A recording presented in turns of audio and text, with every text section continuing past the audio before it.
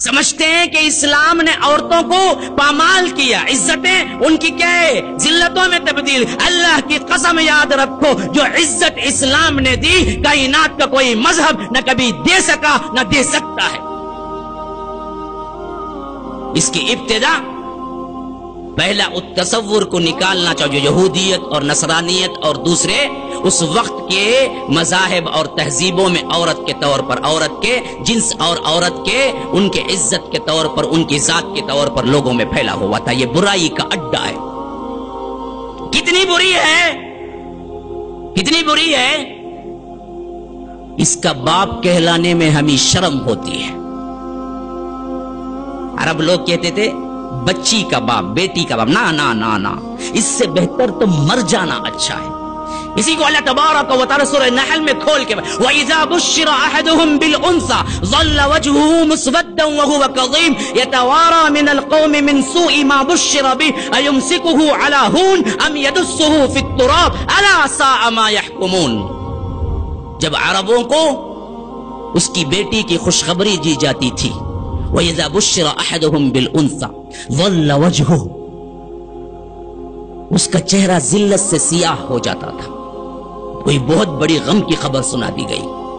مسودم وہو قظیم غم زدہ ہو جاتا تھا۔ یتوارا من القوم، چھپا چھپا پھرتا تھا اپنی قوم سے۔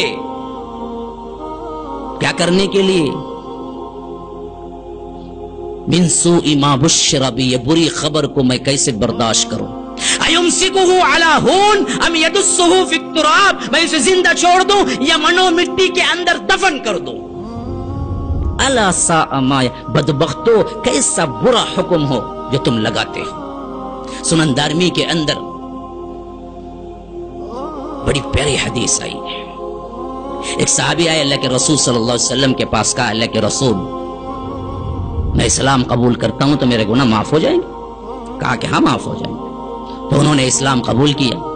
کہا کہ اللہ کے رسول، کیا تمام گناہ معاف ہو جائیں گے؟ کہا کہ ہاں اسلام تمہارے پچھلے تمام گناہوں کو معاف کر دیتا ہے۔ کہا کہ اللہ کے رسول اس بات کی گارنٹی کہا کہ ہاں کہا کہ اللہ کے رسول میں نے ایک ایسا گناہ کیا ہے، شاید اسلام نہ معاف کر سکے۔ اللہ کے رسول نے پوچھا، ایسا کون سا گناہ ہو گیا ہے جس کے بارے میں تمہیں اتنا ڈر ہے؟ تو وہ کہنے لگے اللہ کے رسول، میری ایک کہانی ہے۔ میں وہ کہانی سنا رہا ہوں۔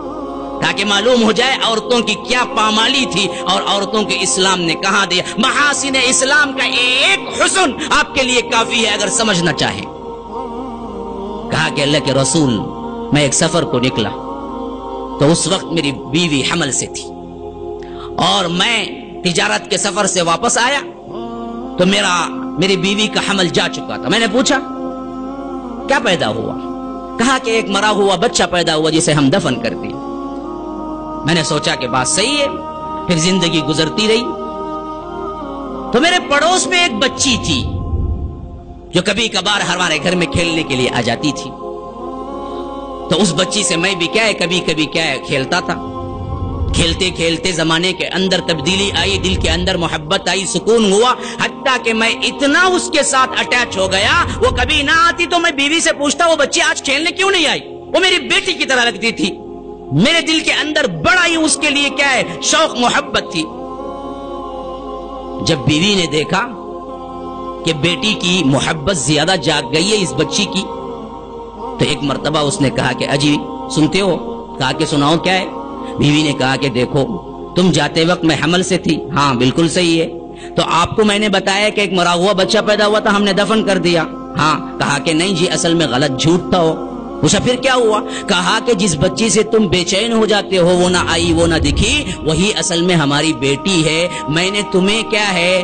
ڈر کی وجہ سے کہ تم کہیں لے جا کے اسے زندہ دفن نہ کر دو، میں نے نہیں بتایا تھا۔ جب آج آپ میں نے دیکھا کہ تم اس بچی سے اتنا پیار کرتے ہو، جو ایک باپ پیار کر سکتا ہے، تو میں آج بتا رہی ہوں، یہ کسی دوسرے کی بچی نہیں ہے، یہ ہماری خود کی بچی ہے جو میں نے پڑوس میں دے کے پلوایا ہے۔